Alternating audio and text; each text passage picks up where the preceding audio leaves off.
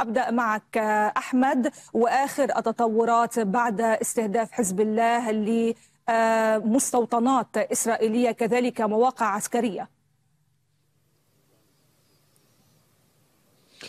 يعني بالفعل هو يوم تصعيدي بامتياز منذ صباح هذا اليوم دوت صافرات الانذار في مناطق عديدة ولكن كان الهدف هو استهداف منطقة جبل الجرمق وهناك قاعدة عسكرية إسرائيلية تابعة لسلاح الجو الإسرائيلي. تم استهدافها. هي هذه القاعدة مسؤولة عن حركة الطيران وترقب ما يجري وحركة الطائرات إن كان في إسرائيل أو في لبنان أو في سوريا أو حتى في الإقليم.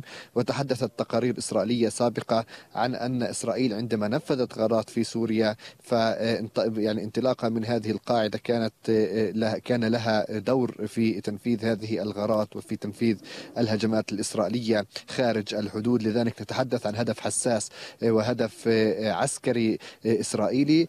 تم اليوم إطلاق قرابة 62 قذيفة صاروخية وهذا ما أعلنه حزب الله. ولكن إسرائيل تشير إلى أنه 40 قذيفة ورصدت وصول 40 قذيفة إلى تلك المنطقة. أيضا بعد ذلك تم إطلاق صواريخ نحو كريات شمولة ومحيطها. الحديث يدور عن أربع قذائف صاروخية سقطت في مناطق مفتوحة وأيضا في منطقة المطلة تم إطلاق صاروخ مضاد للدروع نحو تلك نحو إحدى البنايات الموجودة في منطقة المطله، لذلك نتحدث عن هجمات عديدة عن ثلاث هجمات أبرزها استهداف الموقع العسكري الإسرائيلي بهذه الصواريخ الواسعة والعدد الكبير. أكبر رشقة صاروخية تطلق من لبنان منذ بدء هذا التصعيد منذ الثامن من أكتوبر وتأتي أيضا ضمن الرد الاولي على اغتيال العروري ولكن إسرائيل تترقب ردا اضافيا لأنه في بيان حزب الله تحدث فقط عن رد أولي.